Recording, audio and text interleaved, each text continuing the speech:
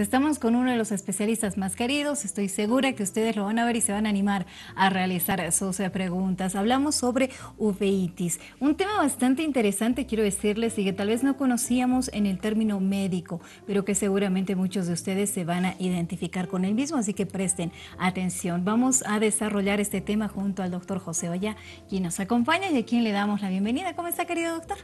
Buenos días, Karencita. Gracias por la oportunidad siempre de poder servir a la población y pues orientarlos en temas que pueden hacer una repercusión en su vida, tanto personal como familiar.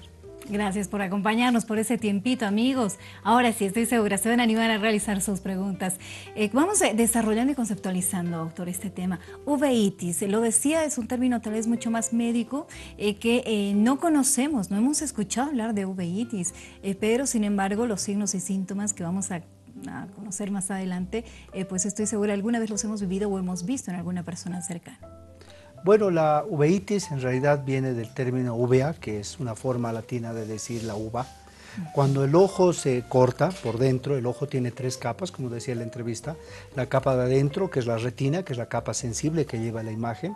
Una capa de vasos, que en ese momento, cuando el paciente se muere o la persona se muere, queda negra porque los vasos, la sangre queda de color negro.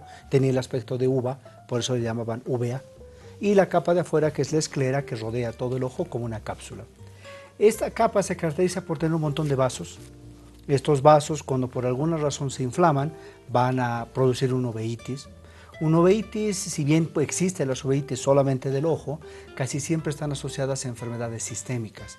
Enfermedades como una vasculitis sistémica, artritis reumatoidea, lupus eritematoso, que van a esos vasos y generan la inflamación. Y la inflamación va a dar las características clínicas del uveitis, que es principalmente baja de visión. El paciente, como se genera inflamación, hay lo que nosotros llamamos flare, hay muchas células dentro del ojo y eso hace que el paciente pierda definición y diga, doctor, estoy viendo borroso con este ojo. Otra de las características que tiene la uveitis es que el ojo está inflamado, o sea, está congestionado, lo ve rojo y con diferentes tipos de patrones de enrojecimiento que nos van a guiar según el tipo de inflamación que tenga. Pero más allá de eso es que la característica más importante de la uveitis es que no duele. La uveitis no genera dolor, entonces el paciente solamente, oye, no veo bien, Doctor, hace un día que no veo bien, vamos a investigarlo, casi siempre investigando, encontramos una enfermedad sistémica, alguna artritis, una cosa así, y ya con el apoyo del reumatólogo podemos ayudar un poco mejor. Pero pues recordar que pues el ojo forma parte del cuerpo, entonces cuando hay una inflamación en el cuerpo puede también repercutir en los ojos. Y eso es importante porque a veces uno, oye, va a la farmacia, que no veo bien, dame una gotita, dame un corticoide, dame una cosa así. Y el problema es que no estamos identificando la enfermedad de base. Y al no identificar la enfermedad de base, obviamente no va a haber mejoría, el paciente se va a estresar más y van a haber más complicaciones por el falta de diagnóstico a tiempo. Doctor, eh, ¿hay algún signo, algún síntoma que nosotros podamos notar en este tema? Por ejemplo, hemos visto a la hora de hacer la investigación e incluso de buscar las imágenes, nos hemos encontrado con ojos bastante rojos. Es una característica y es un enrojecimiento pues grande. Una de las cosas, los tipos de enrojecimiento pues nos van a llevar a cierto tipo de sospechas clínicas. Cuando el enrojecimiento es en el centrito, en la banda de la visión, uno le abre el ojo y ahí está blanquito, aquí está blanquito, esos enrojecimientos son del medio ambiente, porque solamente el área expuesta que va a enrojecer. en cambio, el enrojecimiento por uveitis es casi, bueno, dependiendo del tipo de uveitis, es completamente rojo, bien inyectado, bien con, inclusive tiene un tono medio guindo. Ese es no tanto el rojo escarlata, sino un tono medio guindo, que es la característica de, de la inflamación que está pasando en ese ojo, que le estamos viendo superficialmente, pero principalmente es adentro. El problema de la uveitis es que a veces es muy, como dice, muy enmascarado. Hay muchos tipos de uveitis. Entonces, según eso, hay ojos que inclusive aparecen blancos. El ojo está completamente blanquito y dentro del ojo vemos un montón de celularidad en un tipo de uveitis que se llama la pars planitis, que es una inflamación en un rango que es característico más en personas jóvenes, adolescentes, 16, 17 años, son los que presentan ese tipo de uveitis. Eh, ¿Cuáles son las más frecuentes, doctor, de estos tipos de uveitis? La más frecuente es la uveitis que en realidad no tiene causa, es la uveitis que se llama origen desconocido, es una inflamación del ojo. No es normal que el ojo se inflame. El ojo tiene algo que se llama el privilegio inmunológico. el ojo tiene siete mecanismos diferentes para no inflamarse. Como el ojo es un elemento que tiene que estar transparente, al ojo pues hay muchas estructuras que no tienen vasos, no tiene sangre, porque sin esa sangre no podría ser transparente. Entonces hay mecanismos para evitar que la sangre genere inflamación y la inflamación haga una baja de esa transparencia que debería haber. Se ve este tema en jóvenes también, eh, doctor nos decía de uno de estos tipos de uveitis, eh, pero eh, con mayor frecuencia, ¿no? en los que realmente se requiera de un tratamiento. En realidad, un uveitis es una enfermedad que no es frecuente. Son enfermedades muy, y pueden presentarse secundarias a, hay por ejemplo bebés que nacen con tumores y ese tumor genera una inflamación y nosotros vemos la uveitis y lo exploramos y ahí encontramos el tumor. Entonces, eso también existe en bebés en adolescentes las parsplanitis asociadas a algunas artritis reumatoidea juvenil, que puede estar asociada a algún tipo de inflamación en los maxilares. Entonces el paciente dice, me empezó a doler, ha bajado mi visión, le hacemos exámenes en el laboratorio, es artritis reumatoidea. O sea, tenemos que llamar al inmunólogo, tenemos que llamar al reumatólogo, él le da su buena medicación, se mejora el ojo, se mejora todo y el paciente está mucho más controlado. ¿Este enrojecimiento de ojo eh, va a ir de forma paulatina o es que de la noche a la mañana va a aparecer rojo en nuestro, nuestra vista, nuestros ojos van a aparecer rojos? Esto porque alguna vez revienta una venita y nos asustamos bastante. En todo caso, Karencita, yo creo que esa es una excelente pregunta. ¿Por qué? Porque una cosa es que cuando revienta un vaso y el ojo se pone rojo y se ve en tinta, o sea, se ve color rojo sobre el ojo, eso está asociado a una hemorragia superficial. Puede haber hemorragias profundas. La uveitis, el glaucoma, la epiescleritis, inflamaciones de superficie no dan ese tono de color rojo, sino ves los vasos que están gruesos, te da un tono más rosadito y no está tanto localizado, o sea, no tiene borde que lo limite, sino es solamente la parte de inflamación. Dice, oye, toda esta área está inflamada. días, felicidades por el programa. Quisiera saber si la uveitis tiene cura. Por favor, nos dice gracias por su consulta, doctor. Dentro de las uveitis, como decía, es un grupo muy grande de enfermedades. Hay las secundarias, hay las primarias. Eh, depende muchísimos factores en el sentido de cura. O sea, decir, oye, voy a darte esta gota y te vas a curar y nunca más vas a tener uveitis, no, porque eso no existe. Al revés, es, oye, tengo toxoplasmosis, tengo artritis, entonces han controlado la artritis, la uveitis ha disminuido y se ha controlado. Sí, se controla la enfermedad. No es irreversible. no, no, no, pero hay que identificar la causa, porque si una vez la artritis se ha descompensado, después se puede volver a descompensar. Y cuando se descompensa, a veces se debuta a través de los ojos. Entonces, en ese sentido, cura como tal, pues hay que evaluar cada caso de manera muy individual. Las parasitosis, por ejemplo, se les da medicación antiparasitaria teóricamente se elimina el germen y no debería activarse nunca más el uveitis. Pero pues hay algunos casos en los cuales hay parásitos muy resistentes que a pesar de la medicación pueden reactivar en cuando hay procesos de inmunodeficiencia. Vale decir uno se ha resfriado, vale decir uno está pues con mucha depresión o uno no ha comido bien. Entonces cuando entran periodos de baja desnutrición, la inmunidad baja y los procesos inflamatorios se activan.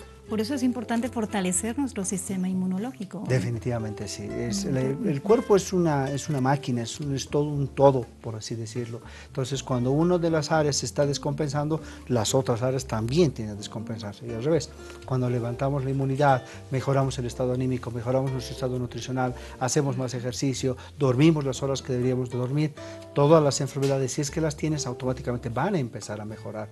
¿Por qué? Porque forma parte del engranaje grande, por así decirlo.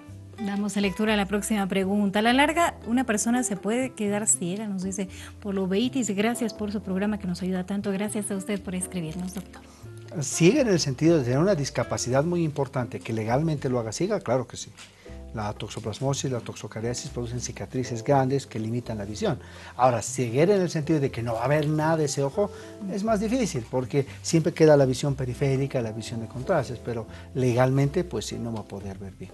Para aquellas personas que tienen diotrías muy altas, eh, doctor, es un temor muchas veces, porque este tema se ve incluso en niños hoy en día, ¿no? Claro, claro. Y el temor muchas veces de que eh, más adelante se presenten complejidades con relación a nuestra salud visual. No, es una de las cosas que ha cambiado los últimos años y a Dios gracias justamente este tipo de entrevistas nos ha permitido mucho agilizar y educar a la gente. Eh, yo tenía, es más, tenía una tía que decía que no use lentes muy chiquito porque va a aumentar su medida y el lente le va a empeorar. No hay cosa más falsa que existe en este mundo. Actualmente se mide lentes a bebés Cuando los chiquitos salen muy prematuros, entonces tienen que darles láser, tienen que inyectarles sustancias dentro del ojo para que no se quede ciego. Pero ese ojito obviamente reacciona a las sustancias y se vuelve miope. Entonces hay que darle lentes para que ese niño aprenda a ver y lo más importante, su cerebro aprenda a ver. Porque cuando uno nace uno tiene que ir desarrollando la visión. Eso pasa en otros casos, por ejemplo, cuando en muchos colegios se están empezando ahorita a hacer las evaluaciones para el primer día de pre-kinder y kinder de todos los colegios. Y a Dios gracias, en los colegios más importantes piden obligatoriamente la evaluación de oftalmología, lo cual hallo muy responsable. ¿Por qué? Porque hay muchas veces que un niño tiene un ojo que ve perfecto y el otro ve mal. Entonces, como está acostumbrado a ver solo con un ojo, su desarrollo neurológico, que debería uno aprender a ver en profundidad, no lo desarrolla. ¿Por qué? Porque con el otro lado ve bien y no le importa. El niño no se va a dar cuenta. Cuando lo revisa el oftalmólogo de, oye, tiene que usar lentes, le ponemos un lente, estimulamos que el ojo que no ve bien vea mejor. Entonces el niño neurológicamente va a desarrollar mejor. Se han dado muchos casos en los cuales los niños, el que le llamaban este es el burro, este es el flojo, este es el que más mete bulla en la clase, es porque no ve bien. Al no ver bien se aburre.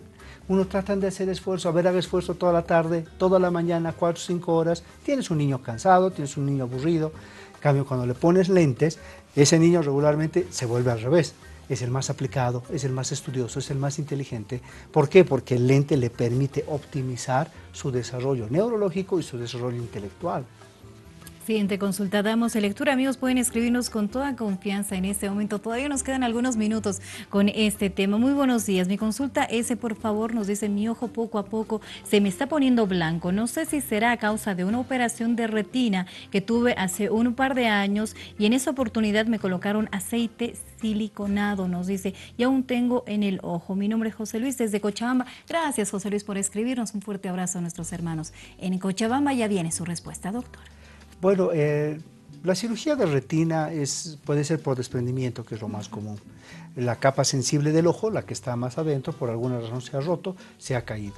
Una de las maneras técnicas quirúrgicas actuales es tamponamos, o sea, llenamos el ojo con silicón y el silicón tiende a expandirse y hace que la retina esté en su lugar. Primero, el silicón no tiene por qué estar de por vida. La ventaja es que es un elemento inerte, por lo tanto no se va a infectar, no le va a pasar nada. Eso puede estar muchos años. Pero al cabo de varios años sí se sugiere retirar el silicón. Entonces se lo retira según la indicación. Hay muchos retinólogos que retiran los tres meses, hay otros retinólogos que esperan dos años para retirarlo, pero no les va ni mal, ni más mal, por así decirlo, ni más bien eventualmente tiene su indicación y tiene que ir a su... El hecho de que el ojo se ponga blanquito, pues sí tiene que hablarlo con su médico, porque normalmente el ojo tiende a tener un color constante todo el tiempo, que se vuelve un poco más blanco y ha sido por superado de retina, hay que tener un poquito de cuidado, porque no va a ser que a veces se le pone una banda alrededor del ojo, es como un cinturón, para que la retina que se ha pegado se pegue un poquito mejor. A veces esa banda aprieta ciertos vasos y a veces la circulación del ojo puede bajar. Entonces, si usted nota que realmente el ojo está más blanco, que lo revise un retinólogo, se revise un médico que lo ha operado. Esos son datos que a veces a nosotros nos sirven mucho. Por favor, nuestro querido amigo José Luis, no se nos descuide, busque al especialista quien le realizó esa cirugía en todo caso, o por supuesto, existen otras opciones, ¿no, doctor? Para que podamos también estar más seguros. Sí, además para tener mayor seguridad a veces dicen, ¿no? Es importante ello. Siguiente consulta. Hola, buen día. Mi pregunta es si la enfermedad de sinusitis puede provocar, provocar uveitis. Nos dice muchas gracias por su pregunta, ah, me ha subido la pregunta, ¿por qué? Hay muchas sinusitis que se deben a algo que se llaman granulomas. Entonces hay cierto tipo de fenómenos inflamatorios en toda la conjuntiva que generan una sinusitis crónica. ¿Cuál es el detalle? Que los granulomas que están todo en, el área nasal también pueden estar dentro del ojo y también pueden estar en la piel y también puede estar en la espalda, en la cabeza, en el cerebro, en todas partes. Entonces hay enfermedades granulomatosas que sí pueden estar asociadas tanto con el problema de uveitis como el problema de sinusitis, con el problema de rinitis alérgicas, con el problema neurológicos, a veces como quistes aparecen en el cerebro. Entonces en ese caso pues sí hay que explorar un poquito más. Hay muchas enfermedades granulomatosas grandes, entonces en ese sentido sí hay que explorarlo, si él considera. no puede ser causa-consecuencia. A veces estás viendo dos consecuencias no tanto la causa. Doctor, eh, factores de riesgo que nos parece importante nuevamente y resaltar para todos nuestros amigos en sus hogares, para quienes ya tienen alguna patología de base, para quienes tal vez no tienen el diagnóstico todavía, pero saben que eh, tal vez hubo en algunas generaciones de nuestra familia o de nuestro árbol genealógico alguna patología que bien sabemos podríamos en algún momento nosotros también tener. A veces nos descuidamos también de ello.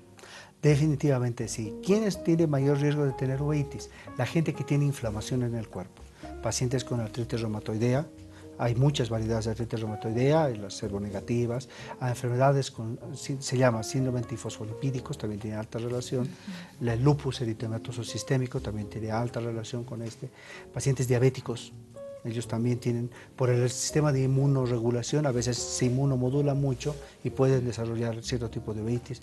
Pacientes que tengan enfermedades como vasculitis periférica, los fenómenos de Raynaud, cualquier tipo de enfermedad que genere inflamación en el cuerpo puede ir hacia el ojo.